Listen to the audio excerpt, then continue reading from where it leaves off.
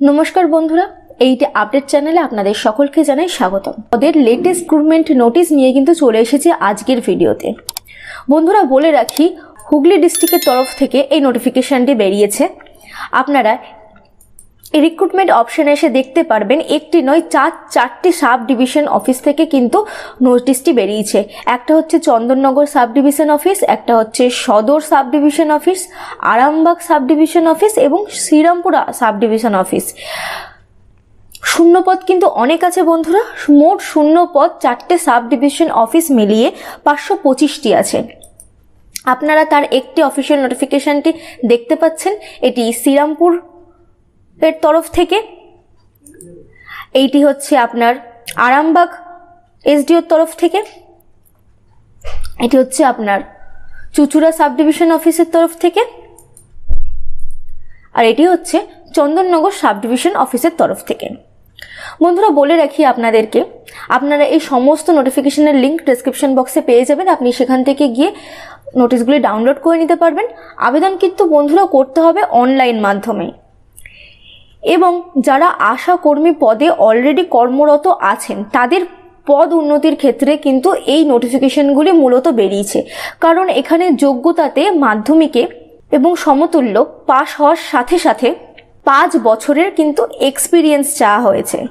তার মানে আপনাকে পাঁচ বছরের অভিজ্ঞতা থাকতে হবে আশাকর্মী পদে তবেই কিন্তু আপনার এই পদোন্নতি হবে এবং আপনি এই ভ্যাকেন্সিগুলোর জন্য আবেদন করতে পারবেন। বয়স সেক্ষেত্রে পঁয়ষট্টি বছরের মধ্যে হলে কিন্তু আপনি আবেদন করতে পারবেন। আবেদন পদ্ধতি আগেই বলেছি অনলাইনে আবেদন করতে হবে।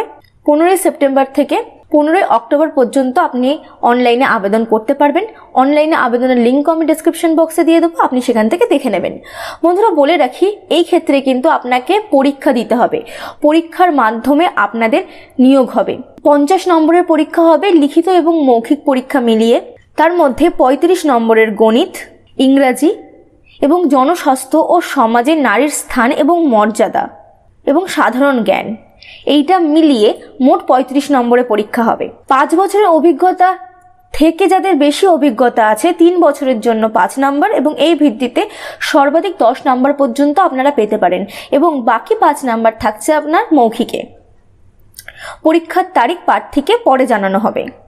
বন্ধুরা, এই চারটি সাব ডিভিশন অফিস থেকে যে নোটিশগুলি বেরিয়েছে, সব কটি ক্ষেত্রেই কিন্তু আপনার আবেদনের যোগ্যতা, আবেদন পদ্ধতি নিয়োগ পদ্ধতি সম্পূর্ণ একই আছে।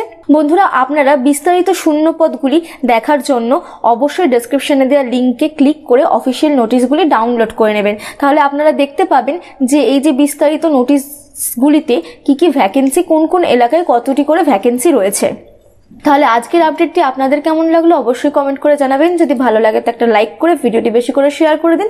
এবং আজকে যদি আপনি আমাদের চ্যানেলে নতুন এসে থাকেন বন্ধুরা, অবশ্যই চ্যানেলটা সাবস্ক্রাইব করে পাশে বেল আইকনটি প্রেস করে দেবেন, যাতে নতুন কোনো আপডেট দিলে আপনার সেটা কখনো মিস না হয়। ভিডিওটিতে শেষ পর্যন্ত থাকার জন্য আমাদের চ্যানেলের সমস্ত দর্শকের জন্য অনেক অনেক ধন্যবাদ।